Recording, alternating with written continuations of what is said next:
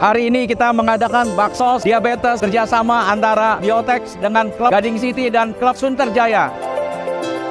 Setelah mengkonsumsi biotek ini manfaat terasa sehat terasa. Tadinya gula 301, setelah satu jam kemudian konsumsi obat menjadi 231. Saya tadi tes 150 setelah satu jam setengah. Ya, tadi saya minum satu botir. Balik lagi, saya tes lagi 95. Tadi pemeriksaan gula darah sewaktu 174. Sekarang turun setelah minum obat ini jadi 134. Saya berharap kegiatan ini lebih banyak lagi akan kita adakan ke depannya untuk mengedukasi publik bahwa diabetes itu tidak bahaya dan gampang ditangani. Silakan cek gula darah sendiri supaya bisa ditangani sedini mungkin. Kami berharap bahwa apa yang kami lakukan ini bermanfaat bagi lebih banyak masyarakat Indonesia. Ya mungkin saya akan coba obat ini juga. Semoga biotek ke depannya lebih baik dan mudah didapat di apotik-apotik mana pun ya, di seluruh Indonesia. Bagus lah, Mas. biar moga-moga pada terbantu dengan obat ini. Dan harapan kami sebagai uh, Lions Club ini diteruskan karena bagus sekali, bermanfaat